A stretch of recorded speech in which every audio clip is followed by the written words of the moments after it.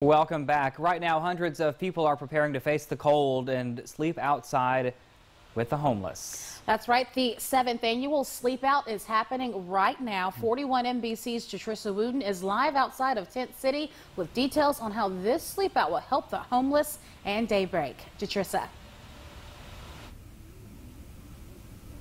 Shelby Tucker, we're still here at Daybreak in Macon for their annual sleep out, again in its seventh year. I'm sitting here with Ms. Janice Haley. She's been uh, participating every year. Ms. Janice, tell us what brings you back every single year? Well, this is the biggest fundraiser they have for Daybreak, and I always want to be a part of it.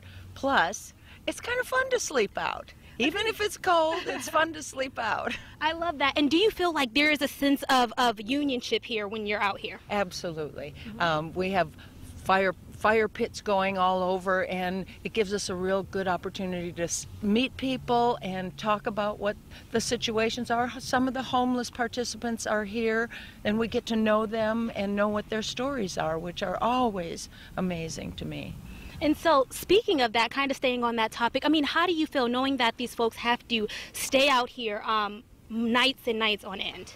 It's it's a terrible state of affairs. We shouldn't have this situation, and we're hoping to find a solution to it. And this is one of the ways we that Macon is addressing it. Absolutely. And then talk about this just being a fundraiser as well. You guys are raising money. Yes, in fact. Um, it's getting bigger and bigger every year. I think we made, we're hoping to make $160,000 this year, maybe wow. more. So uh, it's a very, very good fundraiser. I love that. And I mean, where's all this money going to go? Where are you where are you guys going to send this money? Well, Daybreak is uh, a day resource center for the homeless. They can come in and have showers and um, use computers and uh, call home, get counseling, mm -hmm. take uh, have their laundry done. They take a little break from the rough life they live. Nice. And so, as you guys can see, you can come to Daybreak, um, all you know, to get your services, and a handful of residents are still getting their tents together. So come on down in Macon. Jatrissa Wooten, 41 NBC News.